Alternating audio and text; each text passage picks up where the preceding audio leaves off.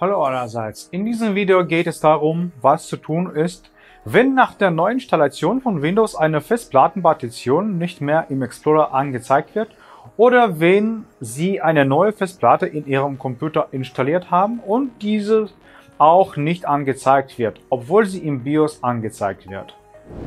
Liebe Freunde, wenn Sie gelöschte Daten wiederherstellen wollen, verwenden Sie die Programme der Firma Hetman Software. Folgen Sie dem Link aus der Beschreibung, laden Sie das Programm kostenlos herunter und installieren Sie es. Führen Sie dann die Festplattenanalyse durch. Nach der Analyse zeigt das Dienstprogramm die für die Wiederherstellung verfügbaren Dateien an und Sie können sie rückgängig machen. Unser Blog bietet kurze Tutorials zur Lösung von Problemen, die Windows-Benutzer haben. Auf unserem Kanal und im Blog finden Sie eine Lösung für jedes Problem. Beginnend mit der Installation des Systems bis zur Remote-Verwaltung und Verbinden mobiler Geräte. Unsere Experten beantworten gerne Ihre Fragen in den Kommentaren zu Videos und Artikeln.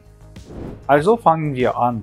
Wir klicken mit der rechten Maustaste auf das Menü Start und wählen Datenträgerverwaltung aus aus der Anzeigeliste. Wenn Sie eine Partition auf Ihrer Festplatte verloren haben, überprüfen Sie, ob nicht zugewiesene Bereiche vorhanden sind oder ob der Bereich bereits äh, verteilt ist, aber einfach kein Laufwerkbuchstabe vorhanden ist. Es kann vorkommen, dass die Festplatte Daten enthält, denen jedoch kein Buchstabe zugewiesen ist. Beeilen Sie sich nicht, daher Maßnahmen zu ergreifen, um den Verlust dieser Daten zu vermeiden. Stellen Sie zunächst sicher, dass der Bereich äh, nicht nicht zugeordnet ist und dass es nicht beispielsweise um einen NTFS-Datenträger handelt. In diesem Fall müssen Sie nur einen Laufwerkbuchstaben zuweisen. Klicken Sie dazu mit der rechten Maustaste auf diesen Bereich. In diesem Fall sollte das Menü den Punkt Laufwerkbuchstaben oder Laufwerkspfad ändern enthalten. Klicken Sie auf Hinzufügen, wenn Sie ein Laufwerkbuchstaben. In unserem Fall ist dies Laufwerk D. Klicken Sie auf OK. Wir prüfen. Laufwerk D wurde in Explorer angezeigt. Trotzdem handelt es sich um einen nicht zugewiesenen Bereich. Klicken Sie drauf und wählen Sie im Menü ein einfaches Volumen erstellen. Klicken Sie also auf Erstellen Sie die Größe des Volumens ein. Die Standardeinstellung ist die gesamte verfügbare Größe. Klicken Sie auf Weiter.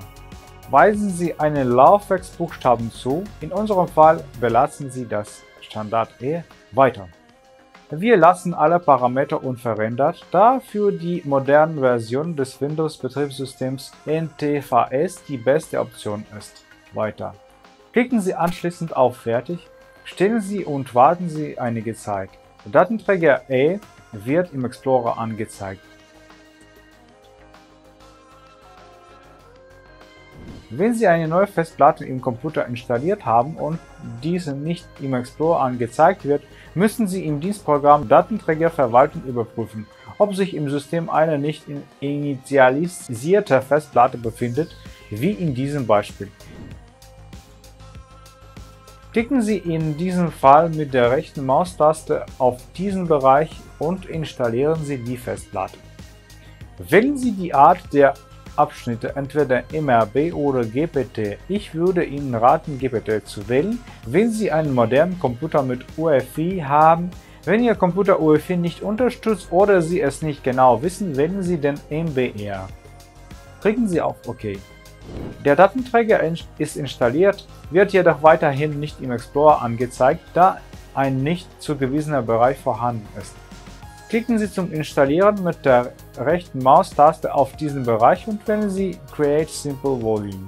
Hier führen wir die gleichen Aktionen aus wie im vorherigen Beispiel. Als Ergebnis haben wir eine Diskette im Explorer.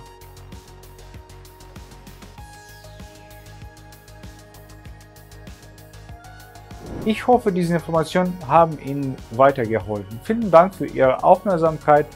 Abonnieren Sie unseren Kanal. Tschüss.